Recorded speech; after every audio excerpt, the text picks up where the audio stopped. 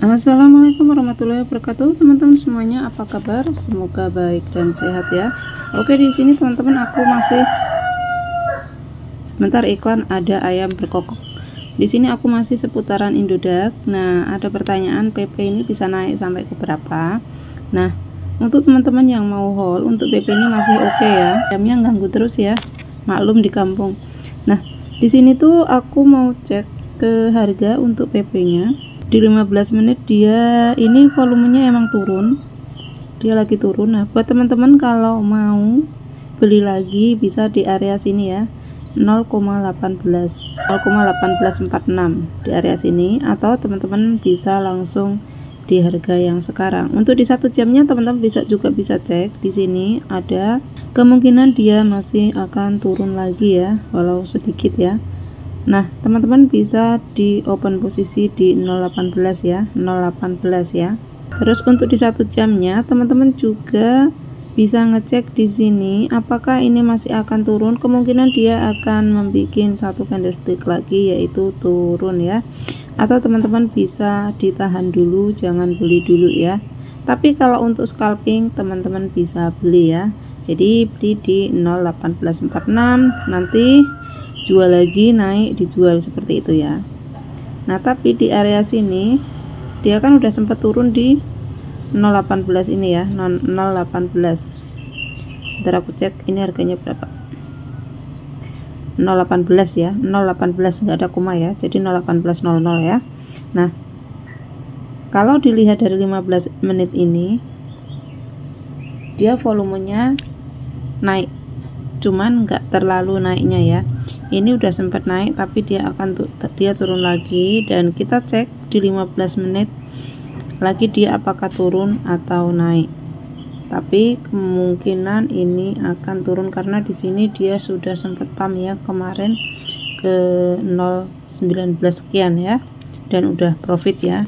Buat teman-teman yang kemarin udah ambil di 018 pastinya udah opit banyak ya. Di satu jamnya di sini dia turun. Dia akan turun dulu habis itu dia akan naik lagi. Tapi volumenya ke turun ya. Nah di satu harinya juga ini nanti candlesticknya pasti akan membentuk satu lagi. Biasanya itu kalau di Indodax itu jam 7 pagi. Ntar ya ada iklan motor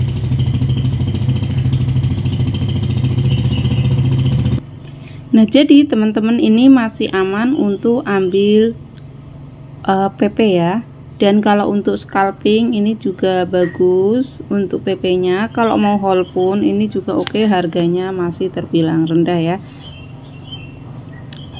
Kalau di sini kalau aku ngecek yang USD, yang IDR, ini kan emang belum lama ya di Indodax-nya ya. Tapi kalau yang USD kan udah ya, udah lama ya karena di sini untuk satu minggunya nggak kelihatan ya. Karena cuma seperti ini volume turun. Nah kalau untuk yang nah teman-teman bener kan aku bilang dia masih akan turun lagi. Teman-teman tunggu nanti jam 7 ya. Teman-teman biasanya kalau di Indodax itu cek jam 7 pagi itu pergantian candlestick di area satu hari. Nah itu untuk menentukan naik apa turun. Di situ udah kelihatan kalau kalau misalkan turun nah teman-teman ditahan dulu. Saran aku teman-teman beli aja di 018 di sini ya karena dia mungkin akan turun. Tapi kalau teman-teman mau scalping teman-teman bisa mulai dari sekarang ya di 15 menit ya. Kalau scalping dilihat aja di 15 menit atau di satu jam jadi per 15 menit teman-teman bisa ambil dan bisa jual ya.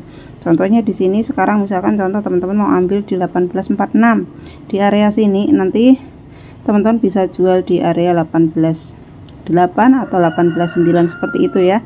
Nanti kalau kita tunggu turun lagi kalau udah turun mentok nah baru kita beli lagi itu yang dinamakan scalping ya. Kita menunggu naik turun dalam hitungan menit ya. Kalau scalping biasanya kalau aku itu ambilnya di 15 menit ya. Di area sini 15 menit atau di satu jam tapi juga melihat di satu harinya ya. Nah, ini kan udah turun ya turun-turun kemungkinan ini masih akan turun lagi. Nah teman-teman bisa ambil scalping itu seperti ini ya. Jadi teman-teman belinya di sini nanti naik di sini jual. Nunggu turun lagi naik sini jual. Jadi dilihat kemampuan naiknya itu sampai di mana. Nah ini ini kalau dia turun sampai mentok ke 18 artinya teman-teman bisa pasang posisi di sini. Kalau mau hold teman-teman pasang posisi di area sini. Jika nanti masih turun bisa pasang posisi di area sini seperti itu ya. Atau pasang posisi di area sini. Kalau nggak kejemput ya berarti dia terbang seperti itu ya. Jadi itu sebenarnya cukup mudah dan simple untuk teman-teman yang masih baru trading di Indodax ya. Yang penting modalnya itu sesuai ya. Modalnya sesuai misalkan modalnya kita punya satu juta ya nggak apa-apa. Kita belinya 100 100 100 ribu 200 ribu seperti itu. Kalau 100 ribu misalkan kita untung 10% itu udah 10 ribu. Kalau 20% artinya 20 ribu ya. Nah misalkan untung 20 ribu kita masih belajar nggak apa-apa. Kan itu bukan hitungan uh, sehari kayak gitu ya. Kalau kita misalkan beli dalam dua koin kita punya satu juta dibelikan 10% atau 20% kita beli dua koin.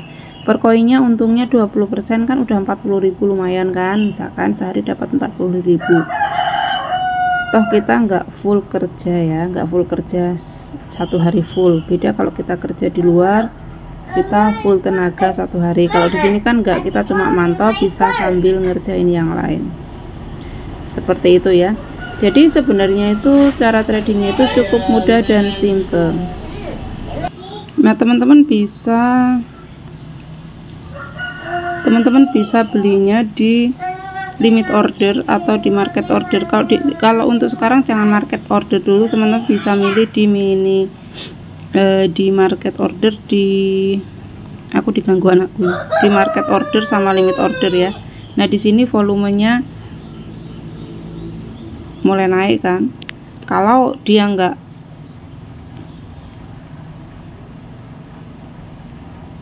kalau dia enggak nembus di harga 01846 artinya dia akan langsung terbang ke 189 ya. Nah di sini eh, harusnya tadi langsung ambil ya langsung ambil.